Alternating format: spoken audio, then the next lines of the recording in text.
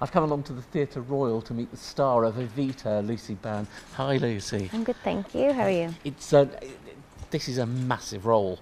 Yes. You must have been very excited when they approached you and asked you to do it. But your background actually is in musical theatre and not in pop. A lot of people, I think, will think of you as being a pop person because you were actually on The Voice. Yeah, it's possible. Um, that's kind of how I kind of got my start, I suppose, was through The Voice. Um, I was uh, I sang classical music on The Voice and a lot of opera.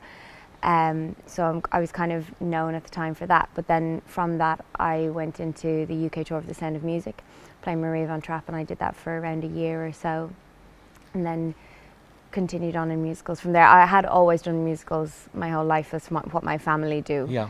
Um, so Because your parents actually run a drama school. yes, they do. Yeah. So Yeah. you were actually a, a stage kid. Yes.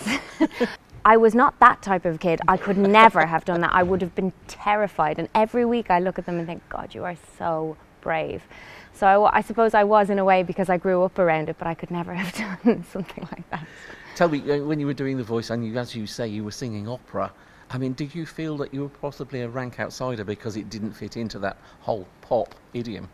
Well, yeah. I mean, I I had no idea I was going to get as far as I did. I had no intention of going as far as I did, and I'm I'm extremely grateful. I had a great time, but I was never expecting it. I, um, I, you know, I went on just to get a little bit of exposure, and I didn't think I'd get that far. I was the own. I was the first ever classical singer to to get past the blind auditions. I think on The Voice.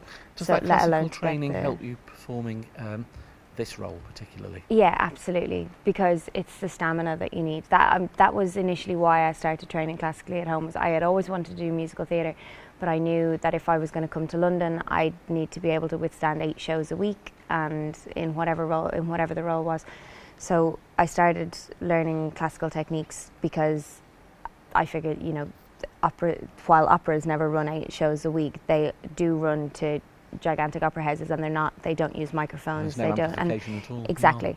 So, and I knew an opera singer at the time, uh, Dr. Veronica Dunne in Ireland. I had just done a show with her in Ireland, and she was in her late 80s and could still sing, Still performing. could still do it. That's amazing. And I was like, it? that's what I want. I don't ever want to or lose what I have. That's what I want. But so you'd already made the decision to throw yourself at the West End and do your best and try. I, I, I read that you ended up selling popcorn at one point. Yes, I did. And, and it was the voice that actually was that turning point. And um, Bill Kenwright actually got in touch with you, having seen you on The Voice, and offered you a role. Yeah, um, it was absolutely that. That is exactly what happened. Um, I was working as an usher in the West End, and I was selling popcorn, and checking tickets, and um, yeah, I went on The Voice, and it all sort of kicked off from there. And I did have an agent before I moved, so even while I was uh, ushering, I was you know trying to get auditions, trying to get seen for things, and it just wasn't happening. And my agent said, "Why don't you try?" Why don't you try the voice? And my singing teacher said, Why don't you try the voice? Now, you're here in Brighton playing Eva Peron in what I think is probably Lloyd Webber's best musical, uh, and certainly vocally the most demanding, I think. Yeah. How is it for you? How are you enjoying this? Uh, it's stunning. I love it. I mean, I'm tired, but I love it.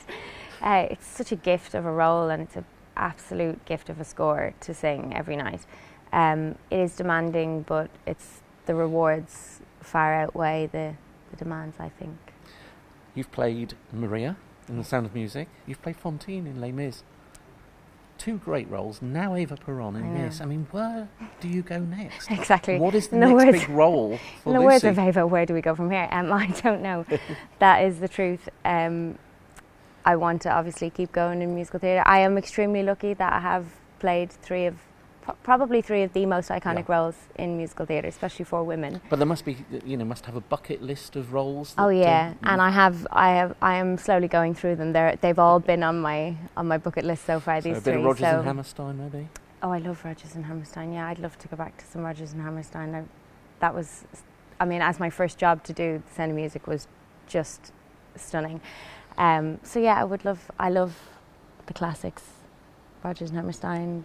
I mean, I'm, I could sit here all day. I'm not going to sit here all day and list them. I would live to sit here with you and list them as well. But thank you so much for talking to us at at Latest thank TV. you. And uh, I'm going to be in this afternoon. oh, I hope you enjoy it. I'm sure I'm going to enjoy it. Thanks so much, Lucy. Thank you.